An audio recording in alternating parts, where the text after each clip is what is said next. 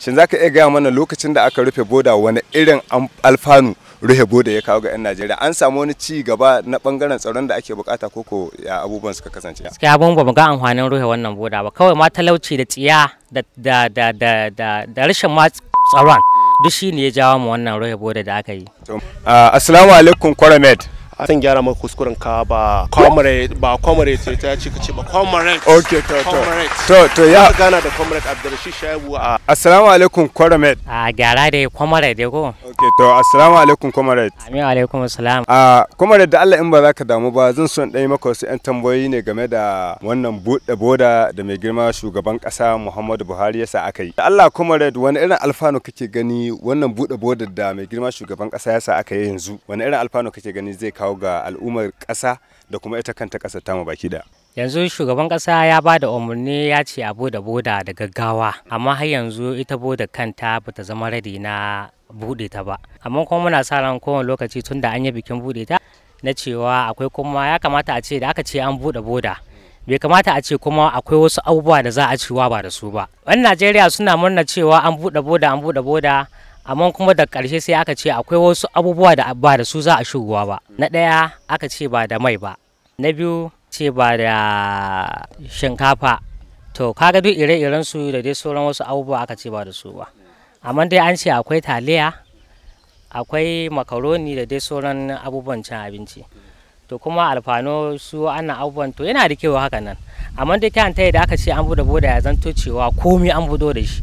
To su ne 'yan najeriya za su tabbatar da cewa lalle lalle cewa za an buɗe boda kuma za a ci alfanunta shin an ce an rufe boda? Idan muka duba kamar makasudin da shi mai girma shugaban kasa ya sa aka rufe boda shine matsala wadda ta shahi tsaro.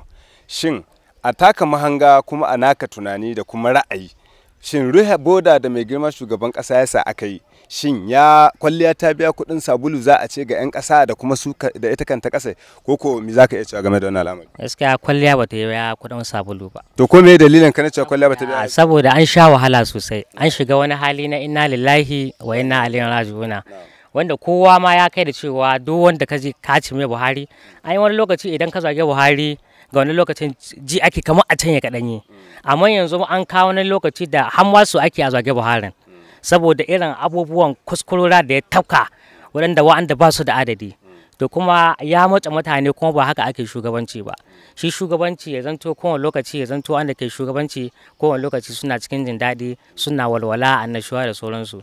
Sannan a ce matsalar tsaro yasa aka rufe boda ba ita ba ce. Amma kawai ne an yi dan a takura ma 'yan najeriya. Kuma 'yan najeriya lallai sun tabbatar da cewa sun takuru. Kuma takura ma hawo da ba ta da adadi. Wadda sauran kasoshi suna ma misali da irin shugabanmu. To kaga duk irin wannan shugabancin gaskiya ba muson shi. Shi yasa yanzu kowane lokaci ba muson mu ga wani tsoho dan shekara saba'in zuwa sama ya fito mu takara. Wato kuma idan dai na fahimce ka kana so ka ce wannan rufe boda da mai girma shugaban kasa kamar irin bai a kwalliya ba ta biya kuɗin sabulu ba kenan ga 'yan najeriya. Gaskiya abun ba mu ga amfanin rufe wannan boda ba. Kawai ma talauci da tsiya da da da da rashin ma tsaron duk shi ne ya jawo mu wannan rufe boda da aka yi. A hakikanin gaskiya buɗe boda wani abu ne mai matuƙar muhimmanci wanda mutanen najeriya sun kagara da a buɗe boda a kai. To zai kawo alfanu da yawa wanda idan muka yi la'akari da irin tsadar rayuwar da ake ciki sanadiyar buɗe boda za a samu ci gaba na rayuwa. Irin irin wasu kayayyaki na masarufi za su rago za su ragu insha Allah kamar irin su taliya siga da sauransu dai. Duk waɗannan abubuwan za a iya samun saukin su sanadiyar buɗe wannan boda da aka yi. Na'am. Kuma idan ba za ka damu ba zan so dan kare maka wasu 'yan tambayoyi dangane da ita wannan boda da muke magana akai kaga kusan mu ce dalilin da ya sa mai girma shugaban kasa ya sa aka rufe boda shine irin matsalar tsaro da muke fuskanta. Shin zaka iya gaya mana lokacin da aka rufe boda wani irin alfanu rufe boda ya kawo ga 'yan najeriya? An samu wani ci gaba na ɓangaren tsaron da ake buƙata koko ya abubuwan suka kasance?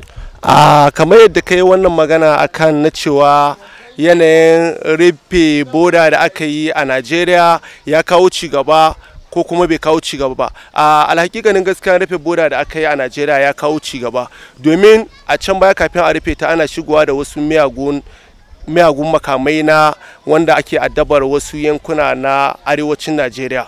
To a bisa haka ne insha Allah ana tunanin cewa rufe wannan bodar da aka yayi tasiri ga 'yan Najeriya. Amma ko mutane 'yan Najeriya suna ganin cewa yin hakan bai tasiri a kansu ba. Amma kuma shi mai daraja shugaban ƙasar Najeriya ya tabbatar da domin duk abin da za ka yi ka yi shi don Allah ka bari don Allah. Shi ganin cewa idan ya yi haka zai kawo ma Najeriya tasiri a kai. Amma kuma mutane za su ga cewa lalle an sanya su cikin wani mawuyacin hali na rayuwa. To maganar gaskiya rufe boda ni a nawa ra'ayi yayi daidai domin ana shigowa da wasu abubuwa. A kuma da Allah zan so in dan kare maka tambayoyi. Na ji kayan magana akan irin lokacin da aka rufe boda an samu sauƙi da sa ina ganin kamar kai mutumin zamfara eh daga zamfara nake. Zan so in kara tambaya ka duba da irin yadda jihar zamfara ta fuskanci kanta cikin wasu ƙalubale irin na insecurity. Kuma ka ce idan aka rufe boda za a samu sauƙi to me kake ganin ya kawo wannan rashin tsaro da muka fuskanta a cikin wannan jihar ta? A maganar da kake a matsalar tsaro matsalar tsaro babbar matsala ce wadda idan ana so a magance ta tana iya ɗiban lokaci da dama. Wanda za a ga shugaba yana iya wayan shi na yadda za a iya magance matsalar tsaro amma sai dai abin ya zo ya tattara. Domin a rayuwa idan kana iya wayan ka kana abu ana maka tuka da walwala dole ne ka samu matsala a rayuwa. Amma a bisa haka shugabannin najeriya suna ƙoƙari suna jajircewa a bisa yadda za a yi a kai ƙarshen wannan matsalar tsaro. Duk aka ce maka ishu na insecurity ne is widely yana da faɗi da yawa. Wanda sai an yi da gaske sai masu ƙoƙarin gaske za su iya magance wannan matsala ta tsaro domin yana yana buƙatar research. Duk kuma abin da aka ce maka research abu ne wanda za a tsaya a yi zurfafa tunani fiye ga sanin ga sanin tunanin mutum. Shine that is. Uh, to mun gode comrade.